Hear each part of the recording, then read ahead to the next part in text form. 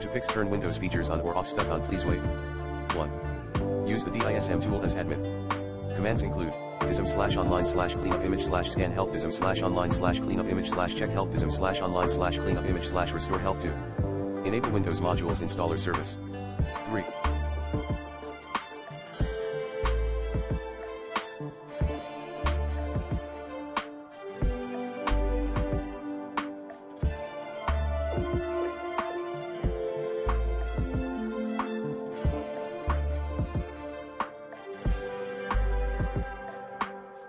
Turn on or off a Windows feature using command prompt.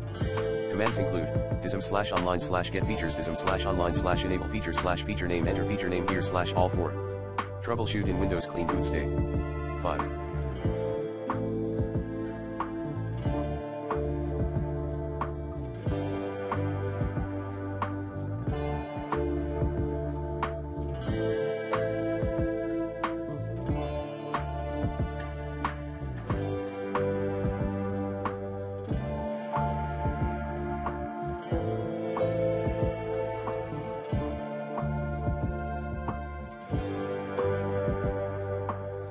Clean install Windows from USB.